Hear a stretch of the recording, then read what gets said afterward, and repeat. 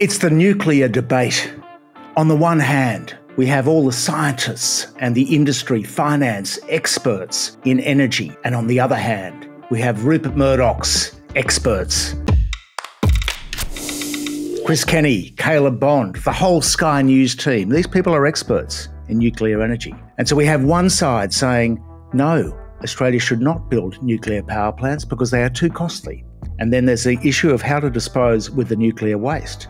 But on the other hand, we have new evidence unveiled by Sky News, by Rupert Murdoch's News Corporation, that nuclear energy is actually the cheapest new form of energy. Now, how's this? Australian nuclear engineer Tony Irwin has crunched the numbers, and it turns out that in the long term, nuclear is actually the cheapest form of energy. The Daily Telegraph's Piers Akerman reported today that on Irwin's numbers, when the capacity factor, the estimated plant lifetime, transmission costs, and other relevant factors are considered, the cost of building nuclear power stations to replace the nation's ageing coal fired plants is cheaper than wind and solar and vastly more efficient than reliance on giant batteries or pumped hydro.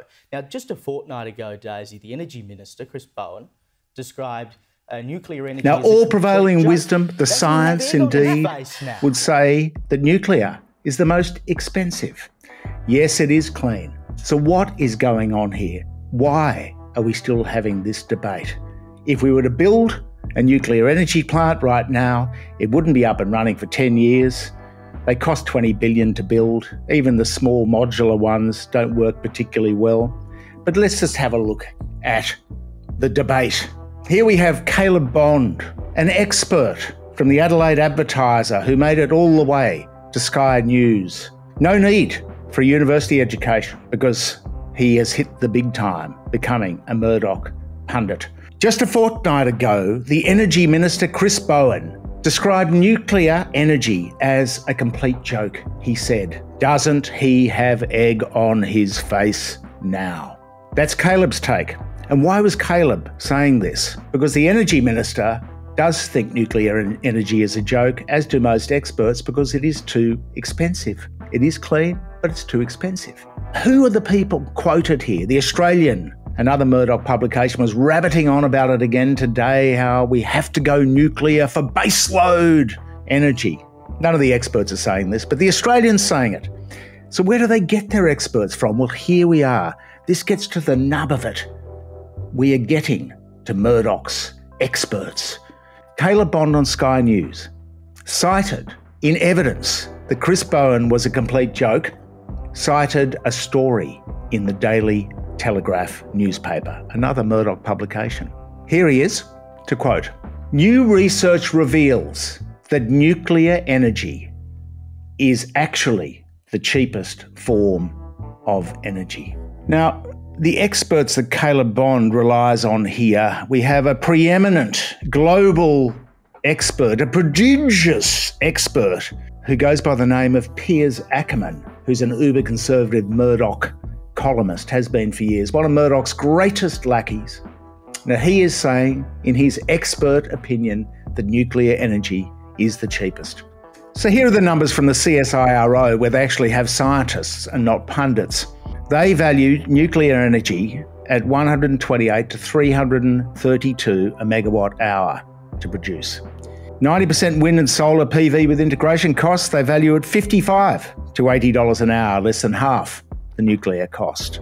Coal is cheaper, they are all cheaper than nuclear energy.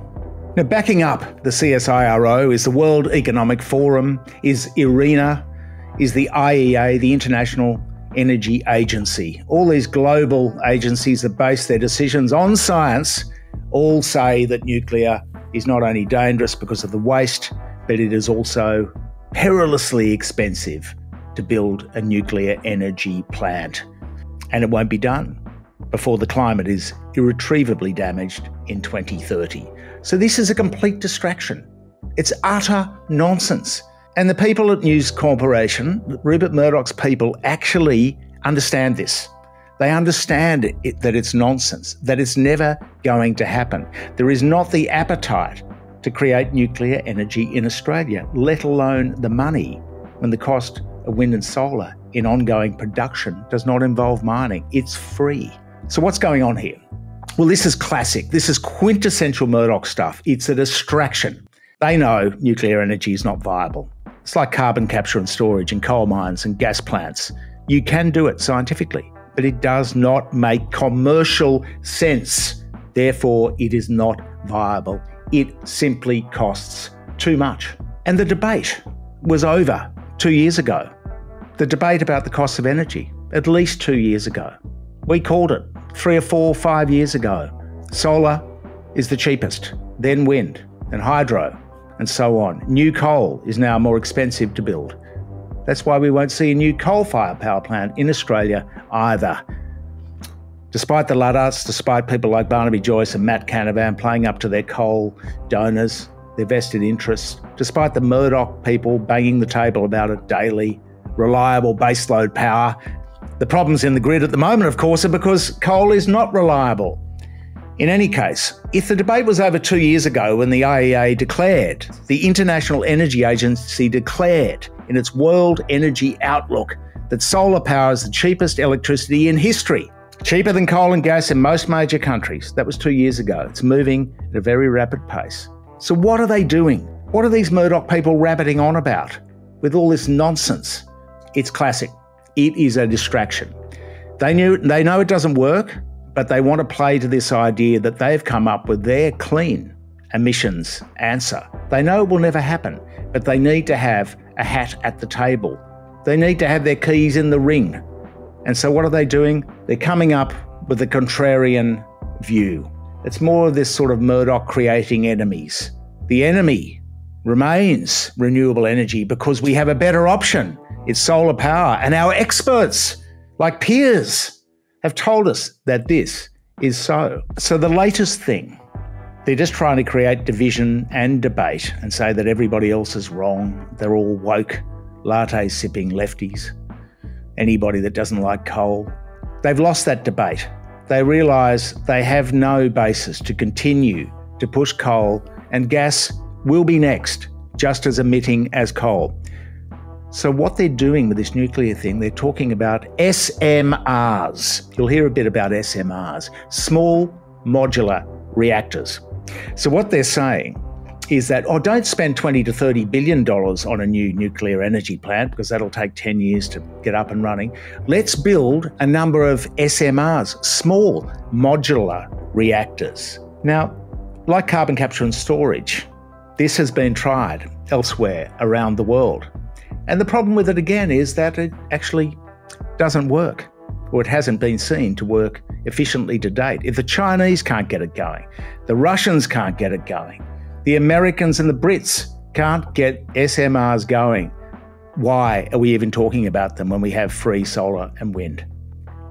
Because Murdoch wants to be a player in this debate. It's all about media creating goodies and baddies. Liberal good, Labor bad, Green terrible. It's all this goodies and baddies Murdoch narrative. Thanks to Giles Parkinson at Renew Economy, we're going to quote his research into this because he's gone and looked at them all around the world. We're going to give you a couple of examples of the incredible success of SMRs, which the Murdoch press is pushing. And here it is. The track record with SMRs around the world has been pitiful. Just a handful of projects most or all exhibiting familiar patterns of massive cost overruns and multi year delays. Here's a few of the key ones in evidence that this is a, just a bizarre proposition from the Murdoch flat earthers. Russia's floating nuclear plant was nine years behind schedule, more than six times over budget, and the electricity it produces is estimated to cost an exorbitant US $200 a megawatt hour, according to the OECD's Nuclear Energy Agency. That would be a source that the Murdoch minions would be fleeing from. They would never go near a serious source like that. Why would you when you have Piers Akerman and Chris Kenny and the lobbyists from ANSTO? The only other operational SMR anywhere in the world China's high temperature gas cooled SMR was two to three times more expensive than initial estimates. It was eight years behind schedule and plans for additional reactors at the same site have been dropped. The SMR in Argentina, seven years behind schedule, a billion dollar cost overruns. Current cost estimate is 23 times higher than preliminary estimates, 23 times higher. So by the time we did it in Australia, and spent our $5 billion on our SMR, that would have gone out to 20 to $30 billion for a small nuclear reactor when the climate has been destroyed by 2035. Not a very sensible policy outcome. China recently began construction of an SMR based on conventional light water reactor technology. According to its Nuclear Energy Corporation, construction cost per kilowatt hour will be twice the cost of large reactors, and the levelized cost of electricity will be 50% higher than large reactors. So not only do they take a long time to build, are hugely expensive, they're not efficient either. So there you have it. It doesn't work like carbon capture and storage, yet it is being feverishly espoused in the Murdoch press. They're coming up with stories about nuclear and energy daily. Their copy is paywalled, it is losing influence. The ABC has just said it doesn't want to showcase its newspapers Murdoch newspapers in the mornings on its breakfast television. These guys are in a bind and they have to be controversial, combative even, to maintain their tiny Sky News audience, which they package up, as recent research found, and send it all around the world as evidence that their climate denying analysis has legs.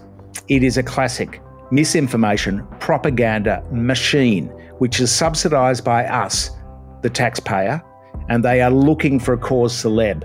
They are looking for relevance. Their bullying tactics are on the wane. And so they will come up with any proposition possible to create a difference, to create a media narrative. And this nuclear narrative, despite it being majestically ill conceived, has no legs, but that will not stop them from carping on about it. Thank you for supporting us here. Check out the website for stories on nuclear energy and on fossil fuel subsidies, on the 114 new fossil fuel projects that we've got going, that we've got to have to fight Labor on now because that is not sustainable. The world says no new fossil fuel projects. And here we are, 114 new fossil fuel projects on the boil, and the subsidies for foreign corporations as high as they ever were. In fact, higher. Thank you for being a supporter. Subscribe to the channel if you haven't yet, and if you can throw us a few bucks, that'd be fantastic. Thank you.